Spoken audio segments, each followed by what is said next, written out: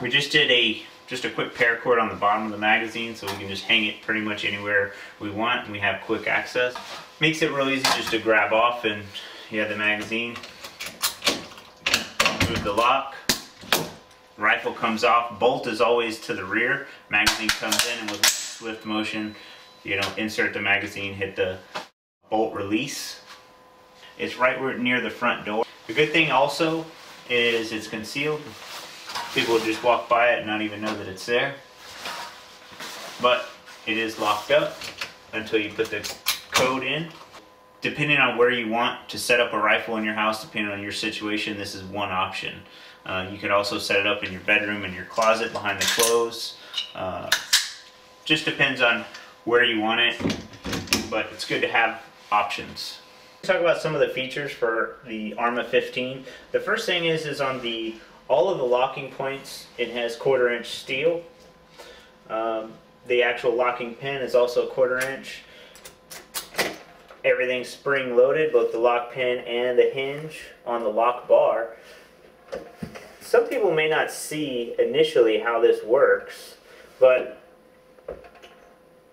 what's going on inside there is your locking pin is going up inside of the hole of this lock bar and allows it to lock. The Arma 15 can also serve as just a AR-15 mount to where you can hold it there in the unlocked position and you don't have to put any kind of padlock and it'll it'll hold it in place there using the magazine catch and what what you have is on the back of the magazine block on the Arma 15 you have a uh, a cut a relief cut there and that's the same way that your magazines when your magazines inserted into your rifle uh, the reason your magazine doesn't fall out is because of that magazine catch. Um, so every time you want to remove it, you need to engage that, but that holds it there in place and secure. And also a secondary feature with that magazine uh, does, especially when it's in vehicle or if it's uh, going against gravity. If your rifle is uh, in a peculiar position to where it could be moving around, um, again, this doesn't really apply to your home, then it prevents the rifle from being shifted up and touching any of the steel on the Arma 15. So it effectively uh, does that that purpose. We've had a customer, uh, we even have a, a, video that you can check out on YouTube on our channel, that where a customer was in a severe collision and they showed the basically a good torture test of the Arma 15 and showed that it didn't damage the rifle even under very adverse conditions, which ended up uh, totaling the car, bending the frame of the car, and rifle was fine, Arma 15 was fine, everything worked great on there, and so uh, plastic block does that. Uh, the second thing is, is let's say if you are in California and you are using a, a bullet button, then there's going to be regulation to where you basically have to take your rifle apart to take it off. Then if you wish, if your rifle if it's in a horizontal fashion and your rifle is going left to right, then you could effectively delete this by filling it with some epoxy, some JB Weld, um, or any kind of hard thing and then sand it down if you wish to do that modification. We will have uh, some kind of an update in the future for California folks that specifically have the bullet button uh, upgrade on their on their rifles. But for most people that won't apply. The one on the bottom is protecting it from the bolt uh, going forward. So I'm going to go ahead and release the bolt and show you. Doesn't do anything to your bolt. Uh, it's, it's basically just going into a piece of plastic. So you have that. You also have blocking your chamber a uh, again a, a, piece of ABS plastic there, so nobody can put junk or stuff inside of there. It also reduces uh, the ability for dirt and dust and stuff to go inside of your chamber as well. Um, I'm going to show you a dime here just for reference. It is a 3 inch lag screw. Hardware that comes with the Arma 15 for home installation. Uh, you're going to get basically two of these screws and once these screws are installed it's over 3,400 pounds of pull force that's required to rip it out of the stud. These screws were specifically designed for the Arma 15. We couldn't find anything on the market, and I get really frustrated when I see companies that build a very solid product and then just totally skimp out on the hardware. So we didn't do that. We built this from the ground up specifically. So starting from the end, we'll look at, um, you can see the tip on it uh, means that you don't have to drill a pilot hole, self-drilling.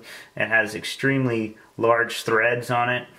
That helps us with the pull force.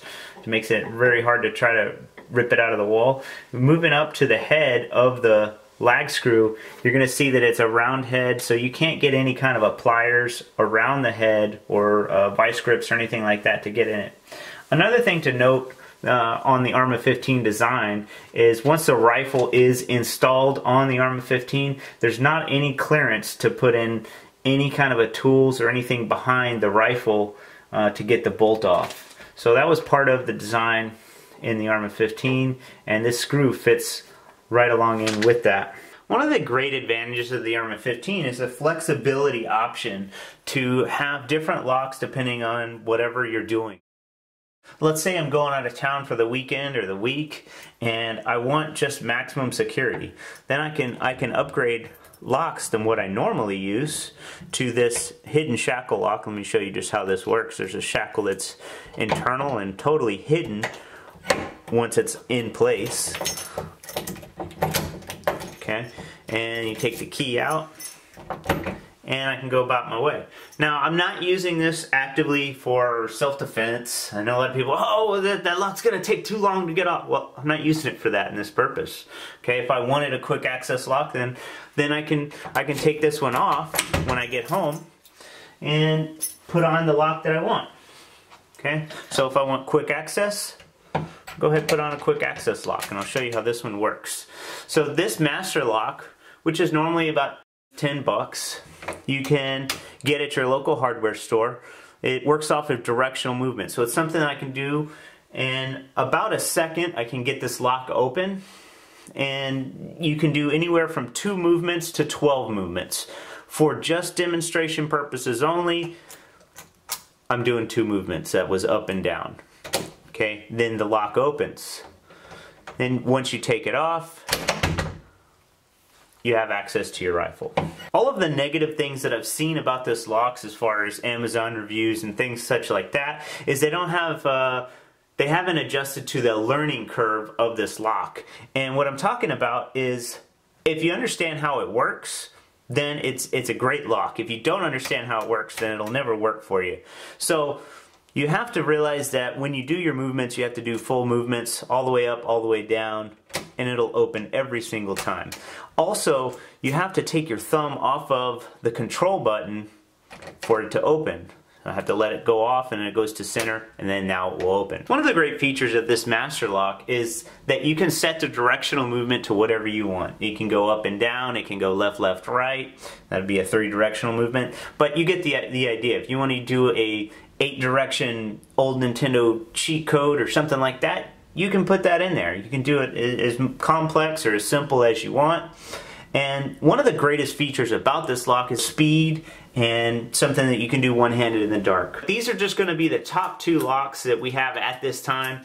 Uh, we've played around with a dozen different locks and we're going to have a YouTube video specifically talking about locks. So if you want to know more about locks, go ahead and, and uh, check out that video and subscribe and you'll see it when it comes out.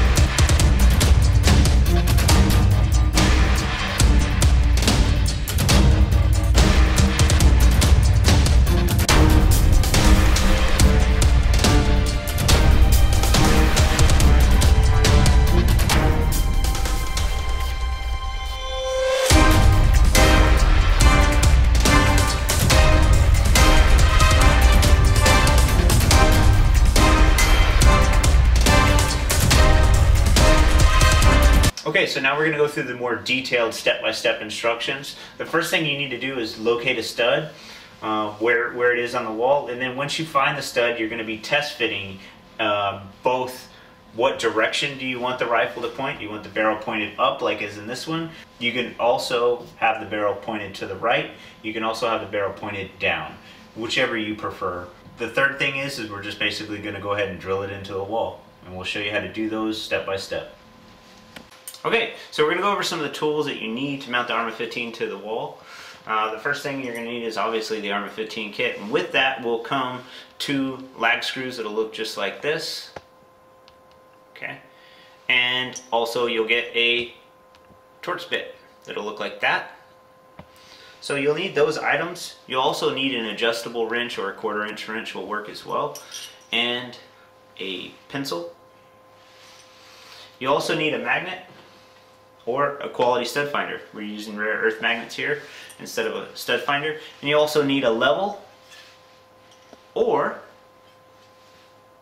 a very good eyeball to check for level. Alright, so we're going to show you the rare earth magnet technique. Some rare earth magnets you can get at your local hardware store, you can even get them online. Once you get your rare earth magnet and your string, you're going to use a piece of tape or glue and just attach those two things together like we did here. And once you get that attached, then you can use it to go in the general area. And what you're looking for is it's going to find a nail. And once it finds it, it'll click. Okay. Now, so what I like to do is just use multiple magnets and just I just go ahead and take one of the multi-pack that we have, set it there, and then go find another. So you want to draw a kind of a line and have some different reference points rather than just one area. If I want to do lower or higher, I, I can then, if I have another one up here, then I can draw a line and then put it somewhere in the middle there. Now, if you are drawing, I would say go ahead and use a pencil because that way you can erase it off and not a pen or a marker. Okay, so the other step really easy with a stud finder. Like I said, if you get one of these, get quality ones. If you if you do get a real cheapo, a lot of times they're they're totally useless and don't end up finding the studs. They're unreliable, and then you end up marking a lot of holes. So if you are going to go this route, go ahead and get a good one. Uh, don't doesn't have to be this brand, but like I said, just get one of the better quality ones. Um, with these, all you do is hold the button down, and you're going to scan, you know, with one thing, and it'll tell you, it'll light up and say where the edge is and when it comes up on that edge, you're just going to take your pencil and you're going to, you know, mark in that one. It'll also tell you a center point. You can mark that as well and keep going and it'll show you the other edge, okay? So once you've marked up all of those locations, you have some reference points to mount. Alright, so in this part we're going to go ahead and test fit, and this is the most important part of it. For this base, what we're going to do is we're going to have it going barrel up, but if you wanted to have the barrel going pointing to the right, it'd be like that. Or you can also have barrel pointed down. Those are your three options, up, down, or right. Um, all of them work really well and aren't going to interfere with the rifle. It just depends on your application. For this one, we're going to put it here, which is in an ease way, and we're going to throw a jacket over it to, to conceal it. So spend a lot of time test fitting it, getting it exactly where you want. Uh, we've already located the stud uh, and just try to find the exact height and then also barrel width and realize it coming up and off and the lock coming off um, making it usable height for you and whoever else might be accessing the rifle. Okay, we're going to be talking about mounting options for the Arma 15 and we just disassembled this completely so that way uh, you can see it for demonstration purposes. Do not remove the magazine block when you're doing that. It's totally not necessary. In fact, that's actually tightened and Loctited and aligned exactly the way it should be coming from the factory and if you move, move that it might cause you some problems so try not to ever move that so I'm going to show you uh, first the horizontal mount and when you do that you're going to install the screw on the wall and you can see our installation video for that but you're going to install your screw on the wall and you basically use the back spacing of either three quarters or you can just grab the Arma 15 and just do a little bit less than that and once it's installed on the wall you you'll slide it up into the uppermost position in that keyhole and then you'll have to put the Torx bit behind it and then tighten the Torx bit. The second second screw, once that's already on the wall, will just go right in the top there. And you just screw it all the way down in. And that's with your barrel uh, pointing to the right.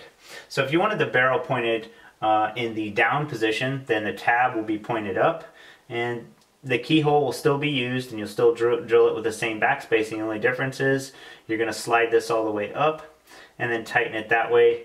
And the position of your second screw will be in this top, top tab here. Uh, this hole won't be used for anything for a vertical mount. If you want the barrel um, facing up, the tab will be pointing down and it's again the same thing. You'll put it in, slide it down, and then your second screw will be in the bottom there. Alright, as I said, we're going to be pointing this in the tab down, which is going to give us a barrel up. And make sure you don't throw your pencil on the floor, because you step on it and break it, and it looks just like this one. uh, so, once you get your pencil, you're going to go ahead and mark your top hole. Okay, you can see we got it here on a level, and it is uh, level. And still take your still very broken pencil and mark your level. And we're going to go ahead and drill that last screw. Okay, so now we're going to go ahead and move into screwing it onto the wall using our lag screw. And all of this stuff is supplied. You'll actually get two of these screws. We're only to be doing one at a time. So th this first one that we're going to be working with, you'll have the screw and your supplied bit that comes in the kit.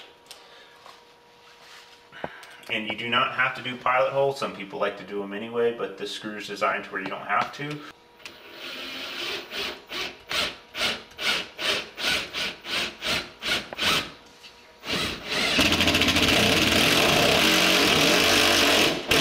Now you're going to go until you get to the Arma 15. On this one, you're not going to be drilling it all the way down. You want to, you can use your Arma 15, or you can actually just use three quarters. We're going to use the Arma 15 since we have it here laying around. And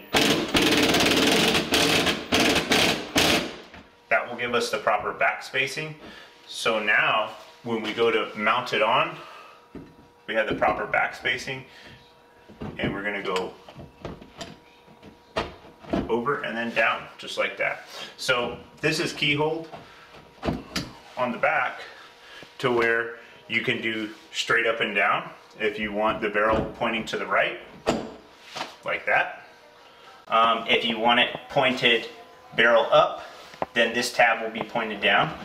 Then you just rotate it this way and it'll go like that.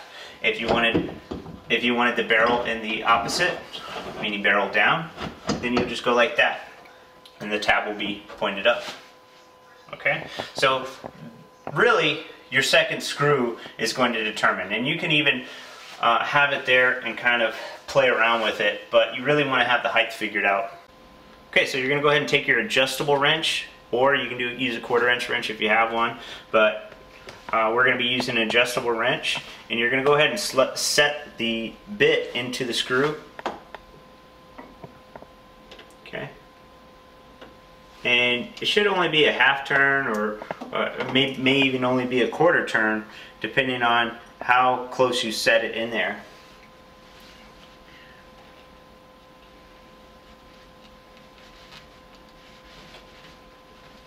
Now you don't want to over tighten it, but you do want it pretty snug. And right there as it is, it's, it's relatively snug on the wall. But I do have it level so I can go up with my final screw and I know it's not going to move. Alright, so we're going to go ahead and drill the final screw.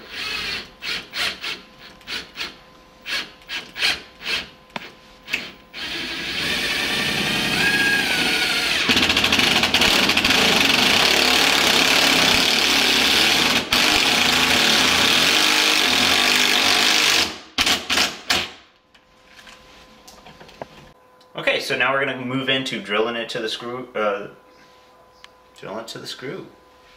You like that? And you want it to where it just flies off like that. That's how you know you got it good and tight. Please subscribe videos as they come out and be alerted when they come out. We also have giveaways for the Arma 15 as we hit certain milestones on our YouTube subscriber channel. Okay, so now we're gonna mount your AR-15 to the wall. What is so funny? Nothing. Why are you laughing? I'm just giggling. Ooh, like giggling little schoolgirl. Let's do it right, come on. Uh, we're also gonna have more DIY videos, install videos. It's also a thumb exerciser. Work out your thumb. You have little baby thumbs, you need this.